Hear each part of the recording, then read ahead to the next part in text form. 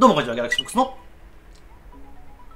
方です。ということで今日もビジネスにまつわるそんなお話をしたいなというふうに思っておりますのでよかったら最後まで見ていただきたいのとグッドボタン、チャンネル登録お願いいたします。ちょっと今日も本のお話とかね、まあ、著者のお話ではなくて、まあ、ちょっとビジネスに振り切ったお話をしようかなというふうに思います。なんか最近ちょっとそういう相談いただくことが増えてきたので、まあ、僕のね、YouTube 見てくれてる方とか、僕の Twitter 見てくれてる方なんかは結構ビジネスをね、一生懸命やってる方が多いので、まあまあマッチするかなということで、まあ、こんな動画を撮らさせてもらおうかなというふうに思います。で、ちょっと今日のトークテーマに行く前に、まあ、みんなね、今物をどうやって売ろうかとか、どうやってサービス広めようかとか、多分ね、そういうことをこのコロナがね、始まってから考えることっていうのはめちゃくちゃ増えたんじゃないかな。もちろん、ね、うまく伸びた業界もありますけども、半分以上がおそらく苦戦しているというか、もちろん僕たちもね、変わっていかないといけない。もうアップデートしていかなあかんっていうものを突きつけられて、余計にどうやって物を売ろうかとか、出て売り上げ作ろうかっていう相談とか、僕らももちろんそうですよ。僕らの会社も一生懸命努力しないと太刀打ちできないんでね。まあ、そんな中で今日はこんなトークテーマを持ってきたというご理解をいただけた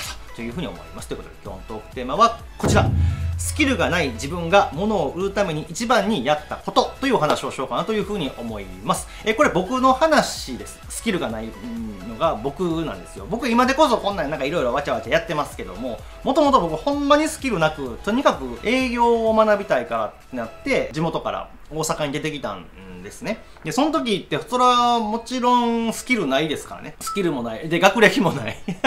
行動力も大してそんなに当時なかったな。今よりはね。なかったかなと思った時に、これやなって僕は、もう勉強も嫌いやからね。勉強じゃなくてなんかね、いいなって思うものが、これやなっていうのが一個だけ見つかったんですよ。で、それを、とにかく、あんまりその時ね、僕も同期とかね、その周りには言わないようにしてて営業マンだったんでね、言わずにやってみたら、割となんか途中からいい感じに成果が伸びてきたっていうのが実際あって、それが何かっていうのをお伝えして、まあ僕もね、これ今も意識してるんでね、まあこれ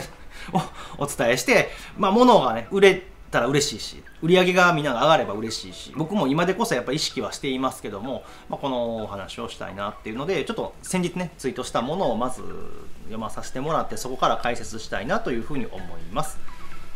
やっぱり愛想がいい人からサービスは受けたんよというすごい短文のツイートをさせていただきましたでもこれ僕めちゃくちゃ大事にしていてどんだけ頭が良くてもどんだけ知識があってもどんだけそのキャリアがあっても愛想ない人から何か得たいと思うかなっていう話なんですよ。僕は今は出版社をやっていたりとかこう動画配信したりとか SNS やったりなんですけどももちろんね自分の浮き沈みもあってちょっと今日は愛想ないなと思われるかもしれませんけどもここ僕めちゃくちゃ抑えてます。ここないと無理じゃないというのが実際のところです。僕だから当時営業マン不動産の営業マンしてた時にだって20代前半で不動産マンションを売ってたの新築のマンションを、えー、ファミリーですよね。30代40代の方々に売るっていう仕事をしててそもそもお前家持ってへん買ったことないやんけと。知識も浅いやんけと言われる中でもう愛想だけ良くしてよと。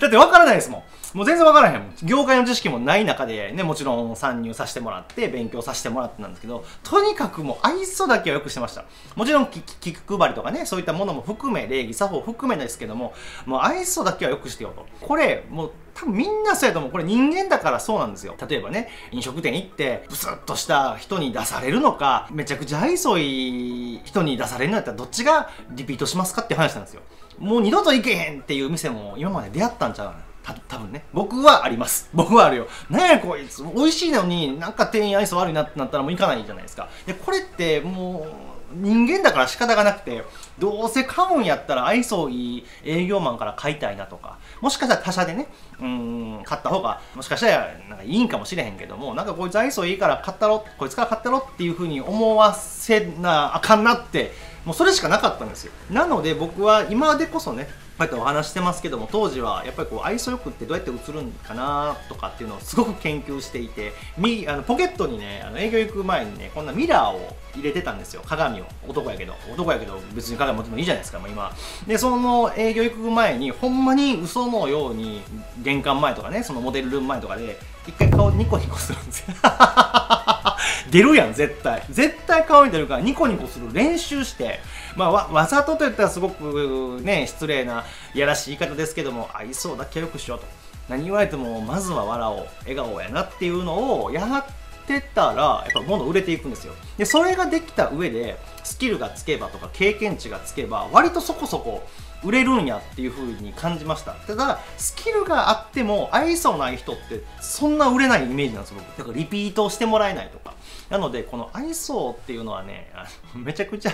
大事かなというのをちょっと最近そんな話が社内であったので改めてさせてもらったと。でここからが大事なんですけども自分が物を売るっていうのを今日はトークテーマで言ってるからこう愛想よくした方がいいですよスキルなくてもいいですよなんですけどもこれねあの売り手側の愛想もめっちゃ大事なんですけど僕受け手側の時もめっちゃ愛想よくするんですよ。例えばこれもどういうことかというと飲食店でご飯を僕食べるじゃないですか注文するじゃないですか。で横に例えばめっちゃ飲食店の店員に口悪いお客さんってたまにいるじゃないですか。最近おらんなったんかどうなんやろね。僕あれめっちゃ嫌いで。あこれ人生損するわ。受け手側僕らやったらサービスを受ける側もいかに愛想よくできるかというかね。ありがとうってこっちも言えないと。じゃないとここが成立しないと思うんですよね。一方通行に愛想よくされてこっちがぶっきらぼうでなんやねんっていう感じやったら成立しなくて多分これ人生得すると思ってるんですよ僕。例えば本当に保険屋さんとか保険の営業とか不動産の営業とか。今やったら管理会社の営業いろいろこう僕も広告の営業とか、え来るんですけど基本僕ね愛想がいいはずなんですよ。もしかしたらちょっとよくサービスよくしてもらえるかもしれへんわけやしお値引きしてもらえるかもしれんわけやし。でもそれって愛想悪いやつにすると思うかって話なんですよ。と思うとどっちもサービスを提供する側も受ける側ももう日々日常から愛想よくしておいた方が結果得やし物売れるしなんかおまけしてくれるしなんかもらえるし。